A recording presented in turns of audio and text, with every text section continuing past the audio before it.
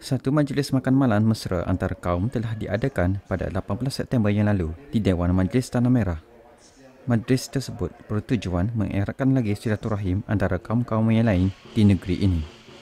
Turut hadir bersama dalam majlis tersebut ialah Menteri Besar Kelantan Yang Amat Berhormat Tuan Guru Haji Ni Abdul Aziz bin Haji Nikmat, ahli-ahli esko Kerajaan Negeri Kelantan serta Ketua Jajahan Tanah Merah Yang Berusaha Haji Samri bin Haji Ismail.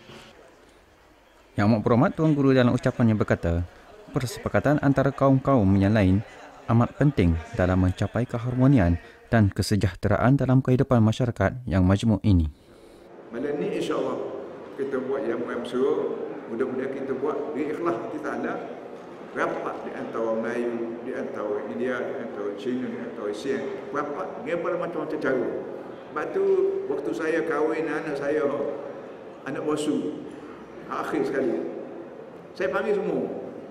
Sami panggil, Kers, Padri panggil, Tok Guru panggil. Nak ajar masyarakat Kelantan ni supaya kita tiga bangsa ni mesti mesra hidup. Majlis tersebut turut diserikan dengan persembahan antara kaum serta majlis penyampaian cendera hati kepada ketua-ketua kaum telah disampaikan oleh Yang Amat Berhormat Tuan Guru Menteri Besar diiringi oleh Ketua Jajahan Tanah Merah.